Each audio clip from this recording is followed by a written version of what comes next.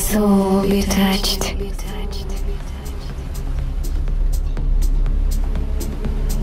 By the beauty of